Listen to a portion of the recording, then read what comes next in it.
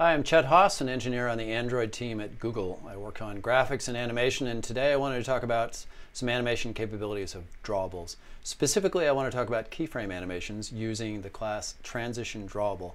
This is a way of specifying not only what image is going to be displayed at any given time, but how long you're going to display it before displaying the next in a sequence of drawables that you've actually loaded into this thing.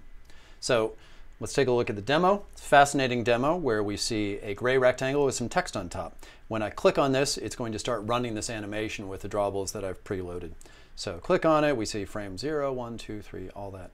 Click on it, it stops. Um, very exciting application. It's a little more interesting in code, so why don't we take a look at that now. So we see this class called keyframe animation that I created.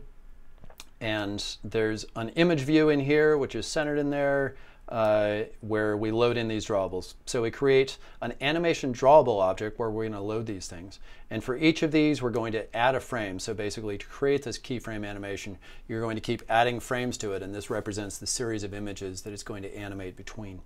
Um, so we add frame, calling get drawable for frame number, and we pass in i. So basically, I'm just creating these simple uh, drawable images that have the number embedded in them. Um, there's some code down here to show you how I did that. So we just create a bitmap of a certain hard-coded size. We have a canvas, we draw this gray color into it, and then we draw the text into it at an appropriate place and then return a bitmap drawable uh, based on that bitmap.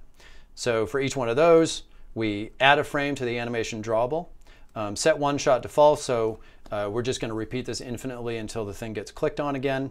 We're going to set this as the image drawable on that image view, and then we're going to have a click listener and listen for the user to actually click the image, and then we'll start the animation running or stop it. So if the animation, when they click, if the animation is already running, we're going to call stop.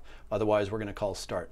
Fairly straightforward. Um, I'm not doing anything interesting here. If you had something like an image resource with actual timings embedded in the metadata, then you could uh, create an uh, animation drawable to mimic that exactly. Here, I'm just using the same hard-coded 300 milliseconds to animate um, and move on to the next image in sequence.